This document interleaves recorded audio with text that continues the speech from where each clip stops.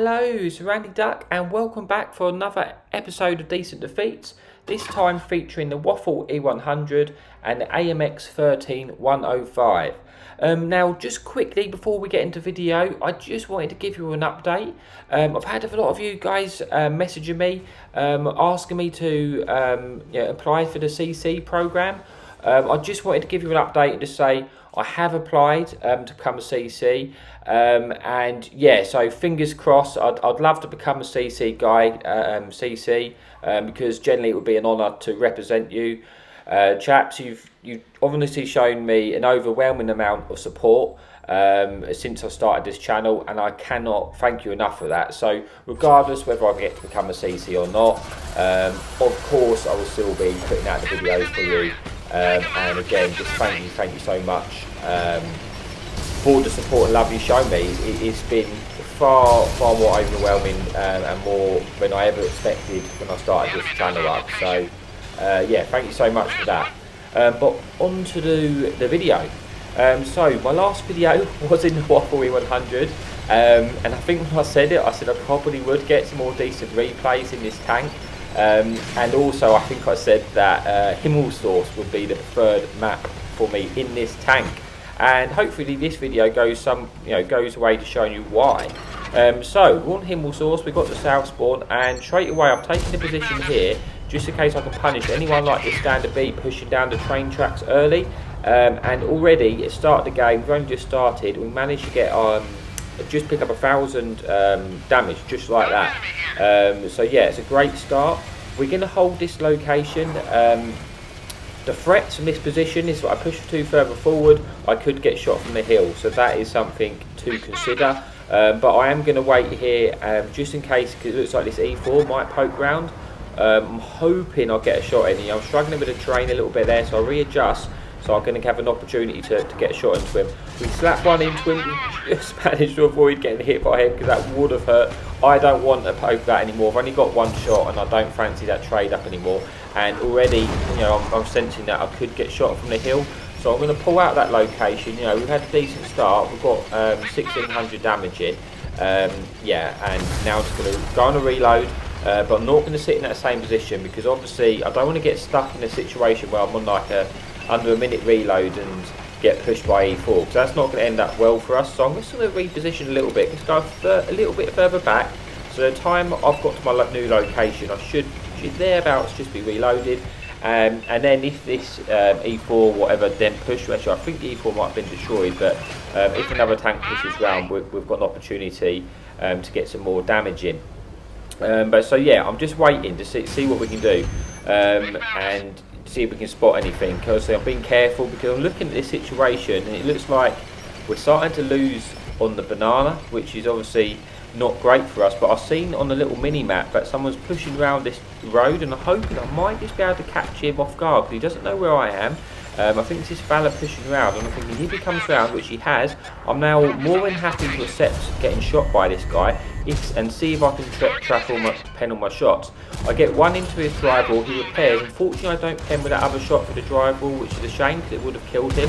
Um, but he does then get taken out by our AMX-50B.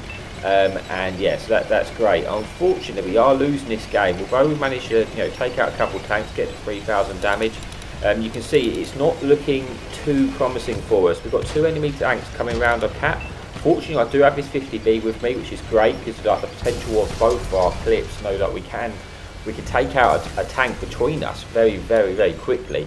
Um, so thank you. I'm not sure who this person is who's helping me, but thank you for, for your help. You definitely did help me here.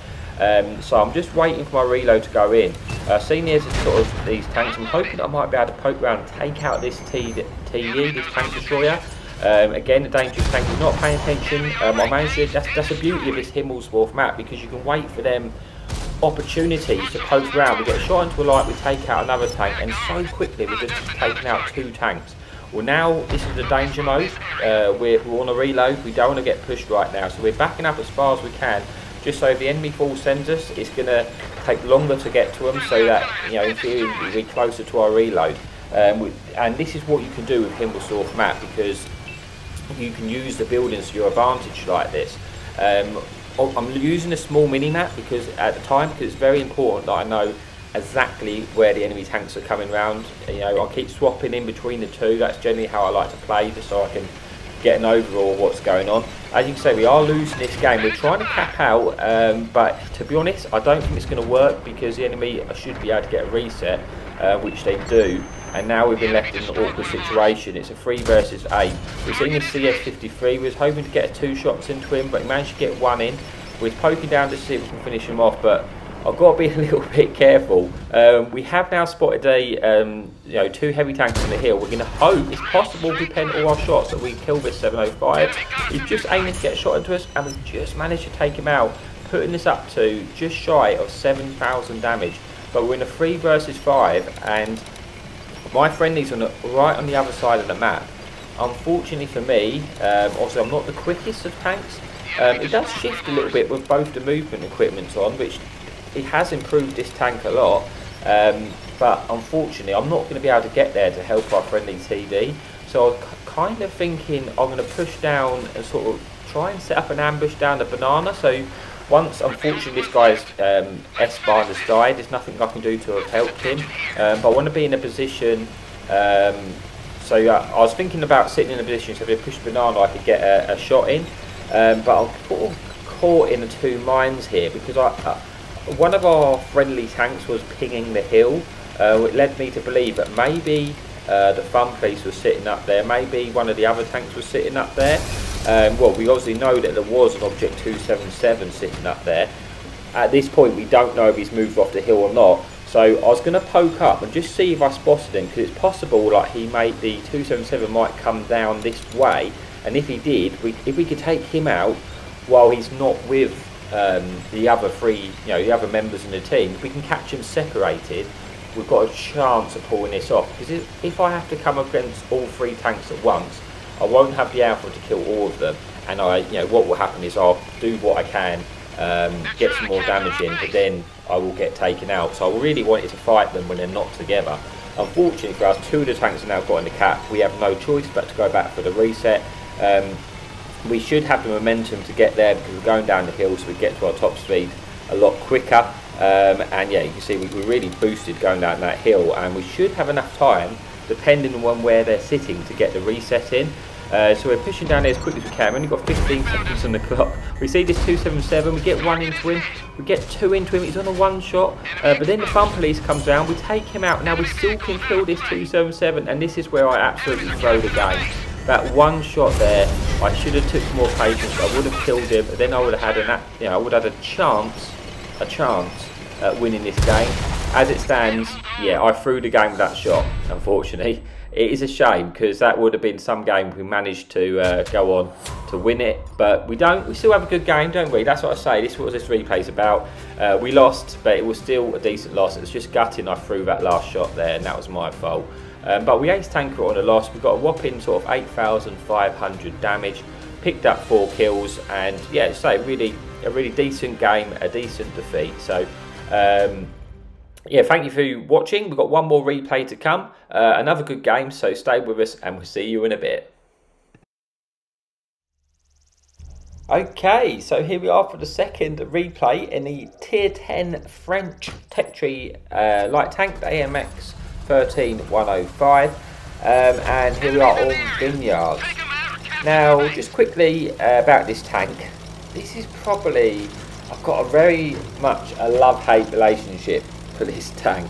Um, I probably hate it most of the time, but when it works, I love it. And that's just because this gun, I mean, it'd be interesting to hear uh, your opinions on the gun. Um, I just feel like it's such a trolly gun. It probably just feels like the the worst gun for trolling you in, in the game. That's how it feels anyway. Um, like in this replay, it doesn't really show that. In this replay, I hit most of my shots, but believe me, the amount of times I've just missed like all three shots of my clip is is crazy. Um, but anyway, um, yeah, be interested to hear your um, thoughts. We pushed up to vineyards. I did push quite um, to an aggressive spot just because this does have one you know good thing about this tank. It does have a really decent camo rating. Um, but we've quickly found out we have no support, no support, and yeah, we are getting pushed. So if we don't get out of here now, um, we don't react quickly, we're going to die, aren't we? We did eat a shot, but it's only one shot. Uh, we're still in the game. We just need to get out of here and hopefully don't take any more damage. We have got um, a lit. I'm just going to wait here, see if we've got any shots on this light tank. Or just before I move, I just want to get a little bit of damage before I retreat. Uh, we're seeing an opportunity to get a shot into this SU. We get one in, quickly need to get into cover. We picked up a little bit of resistance. And then in a minute, my superb driving skills come into action and we hit this rock. Could have died because of it, because of that crash, uh, but we got away with it. Um, and again, I'm just going to see if I can get a shot into this light tank. And we've now hit two out of three, um, which just doesn't really happen. And we're going to go for the third shot. And yes, we get all three shots penetrate. Um, and that's not typical of this tank. It really isn't. Um, but when it does, like I say, when it does work for you, the tank's fantastic. It's just, for me, it, maybe it's just me, um, but it doesn't seem to work a lot for me. I, I often have found that I've got trolled in this light tank. Um, but yeah, um, as you can see, most of the friendly team have gone the other side of the map. Um, and that's kind of put us in a little bit of danger of getting capped out. So I'm caught in two minds at the moment. I don't want to go too far away from the cap because you know the, T, the TDs we do have here, I would like to spot up for them um, so that they can get their damage and you know I can get my assistance. Um, obviously I need them you know more than ever now. I need to work together. I need to keep the stuff lit for them to shoot, and, and I need to pen my shots because we are in a little bit of a little bit of a trouble here because a lot of stuff moving to the cap, um, and like I say, a lot of our team are not in this this particular battle, this this, this part of the, the engagement. Um, so it's important that I try and keep them lit up. We've done a pretty good job there. Actually, we've taken out the their friendly, uh, their enemy light tank. Um, and we've kind of stopped them just jumping in the cap by keeping them lit there. Unfortunately, the position they sort of put me in, um, I had to fall back um, because I didn't know if I was getting pushed. That TD was putting me in an awkward spot. Um, he has now been caught out in the open, um, and we're getting all the assistance, which is brilliant, putting us just under 2k assistance. We've got this huntsman. We've gone for one shot. We don't pin, but we do track him. Uh, we're just going to try and keep him tracked, um, just so make sure he does get taken out. Uh, we've put ourselves up to 3,000 damage now um, and 2,600 assistance and we're just waiting for our team to, to shut down this huntsman. It looks like they haven't quite got shots, or, or all of them haven't quite got shots, or they might be in a reload. Um, I think I have got an S-bomb behind me, I believe. Um, but yeah, we're just waiting now to try and take him out. There we go, they're starting to shoot him. He should get taken out soon. Uh, we go for a shot into this um, Polish um, heavy tank. And again, that's not even fully aimed. That one goes in. That does not happen all the time. Uh, this Object 77 is ammo racked, so we just took a gamble. You never know, we might have ammo racked him. But realistically, I wasn't going to pen there. Um, but I wanted to just dump the, the, shots anyway. You never know, do you? Um, but yeah, I'm going to move forward again. Uh, it's fairly close game. Uh, but I'm just thinking, this does have good camo. Maybe I can sit in this bush. Uh, there are tanks behind me. Um, and if I light them up, um, then hopefully they can get taken out. I think that Object 277 though seems to be very um, not quite lighting him up at the moment, but he's in a position where he's utilising his turret armour quite nicely, um, and my friendly team are either struggling to get shots at him or struggling to pen him. Um, this Valor's moved into an awkward situation, there is no fun police in this game, so he is fairly safe where he is right now. He is hold down, and obviously that thing does have a fantastic turret. Um, so he's in a location which is, you know, he's put himself in a location where he's very difficult to dig out. I'm always hoping that at this point that the enemy team will just go and sit in the cap because if that did happen, um, they would get taken out very quickly. Um, but unfortunately for me, they're, they're, not doing that and they're making life difficult for me. Um, but I'm still thinking this is where most of my team is. Um, I don't really think, I, I, kind of think this is the best location for me to be in. I get very lucky there. That Valor goes a shot. I'm assuming he was shooting something behind me um, but he doesn't uh, manage to pen me, which is very lucky. Um, we go for a shot now. The, the object uh, 277 presented itself a shot, um, and we do manage to get one into him, and now we're on a reload. Again, very, very close game. Um, but this just seems to be the location for me to be. We're kind of a little bit trapped. The, the enemy team, because they've won the other side, they've boxed us in in a corner which is not ideal. That's why you, you really want to, when you're playing this game, make sure you win a side. You know, if you all commit to one side, then win that side. Because if you don't, um, you're just going to be stuck in a position you're getting boxed in like it's happening to us. I'm doing my best to try and keep them lit up, but I can't push too further forward myself because I'm only on 400 hit points. Unfortunately, where I've lost them hit points early doors, that's really um, it's hurt me in this game. Uh, we've seen this T32. We're trying to get a few shots into him. Uh, we've got one in. We're going to get a second one in, uh, putting us up to sort of 5,000 damage and just shy of 4,000 assistance. So you know, if we die now, we've had a good game as far as I guess marks of excellence are concerned. You know, we've had we've had a decent game, but there's still a lot of damage in this game, and, it's very close. And I always, I know I enjoy these games. Um, obviously, you know, by the title, we know we've lost this one. Spoiler alert. Uh, but I'd much rather have a game which is difficult to win and you have to try and you lose than a game where your team's just completely destroyed the, the opponent where you've got to win but you've not really worked for it. That's just my um, my opinion anyway. Um, yeah, I, I, just like. I'm sure most of us do. We enjoy games where we're close and we get to play because that, that's it's fun, isn't it? Um, I've kind of given up in that location. My enemy, my friendly team aren't really getting the shots in. They're also not sitting in the cap, so I don't really feel um, that threatened about them capping out. Because I'm thinking I'm quite a quick tank, so you know what? I'm going to pull back and just give them an opportunity to move forward, just in case, uh, you know, if they get unlit, maybe they will start to progress forward. But um, that doesn't seem to be happening um, at the moment. and I'm kind of sort of just stuck in two minds because my, this is where my team is. I don't really want to go wandering off by myself, um, being only on 400 hit points and just abandoning our team because I guess you know I am the vision for them at the moment. Uh, they still have the um, the Falcon or the unskinned Falcon on their team, which has great camo. Um, and I know he's sort of sat in a bush around here, and it is a little bit awkward because my team are going to get lit if they push through. So I kind of do need to keep them spotted, but at the same time, I'm doing my best. But there's, we're stuck in that awkward situation where they don't want to move. Um, so what do I do? Do I sit there just wait, hoping something, something's going to change? I decided that I'm going to change my approach, and, and I'm going to. I was thinking about starting to go towards their base, and you know we know there's a badger on the team which hasn't been spotted yet, so I'm guessing that badger is going to be located at their base, you know, on the opposite side of this spawn. So that's why I'm kind of thinking, you know what, I've tried my best over there. They're not. I'm not in danger of getting capped out. Let's just try something different before we run run down all the time on the clock, um, and you know it, we end up in a bit of a stalemate situation.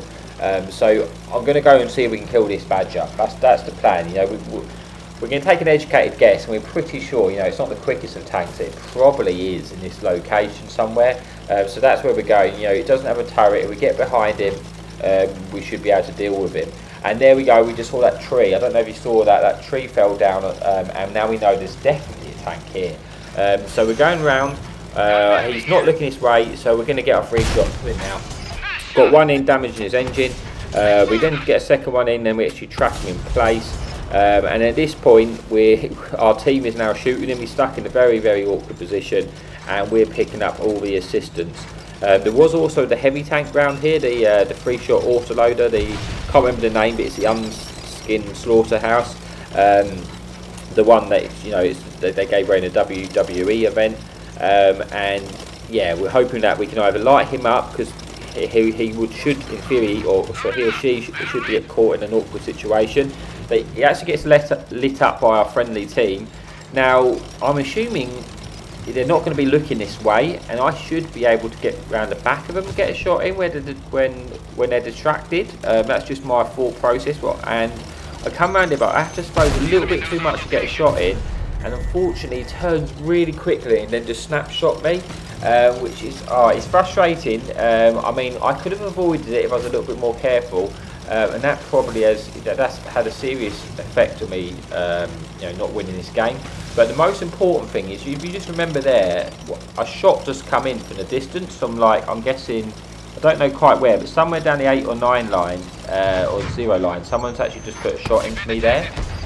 And just remember that because that is quite crucial information. I didn't really register that this at the time, but this is where I think I end up making the mistake which um, probably cost me the game. Because what I should have done now here, I'm going to go up to this bush to see if I can spot anything. But we don't spot anything, we also don't get detected. Now, in hindsight, we knew we had a difficult time earlier around the 1-2 line. I think how I should have played this is I should have gone down the zero line, hugged the edge of the map, and see if we could outspot, which we should have done, unless it's the T, the uh, the Falcon uh, tank, which will shoot me from down there. Because that way, if we would have killed him, we could have then come behind them and light them up for our team that way, and just put them in a situation where they're not used to, because they wasn't expecting me to come from that way.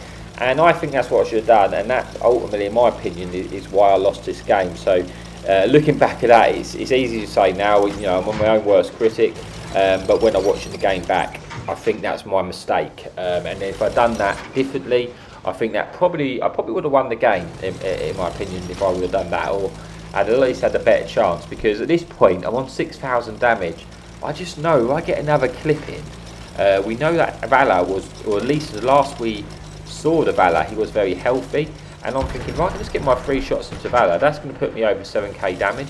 And that's was my thought process at this time. Just get a clip into that Valor, put you over to 7k, um, and then we'll have a great chance of winning the game. And also I'll end up uh, with uh, you know, a really good game. We've already had a good game, you know.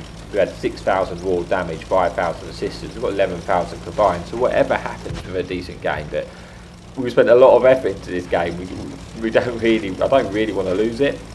Um, I'm trying to go all the way down to this side, thinking I might be able to poke up in the hedges to take out this Object 277, but he gets shut down by our S-bar. Um, we do lose our TVP um, in the result, and now this is where I could have done with those extra hit points, um, which I lost earlier against the autoloader. Because um, I'm pushing up to this location, knowing that there was um, a light tank here before, and thinking that maybe we'll be able to spot him and our TDs will shoot him.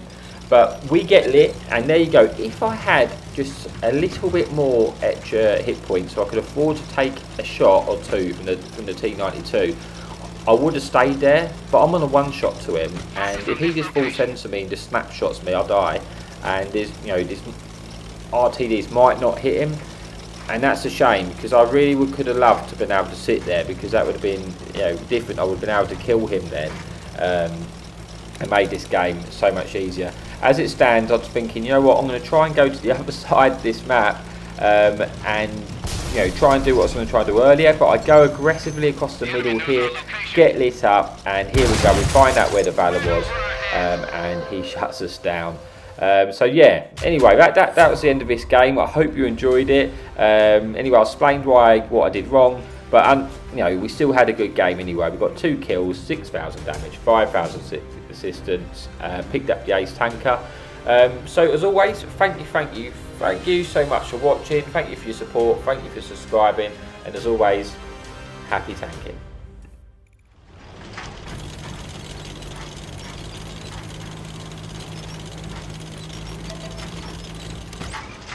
Enemy in sight. Hadouken!